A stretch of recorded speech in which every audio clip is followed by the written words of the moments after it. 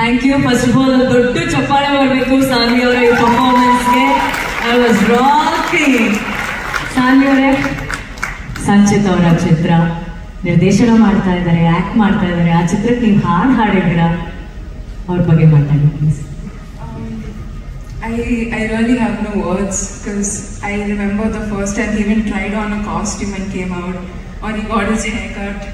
I I couldn't believe like oh my god that's my older brother, and it was it was a crazy feeling, and I'm I'm so so so proud of you because I was there when you shot the teaser both days, and I saw how much hard work you put in and it's very hard not to get emotional because I have grown up around him. He's my best friend, and you're really going to go places, Sanchi.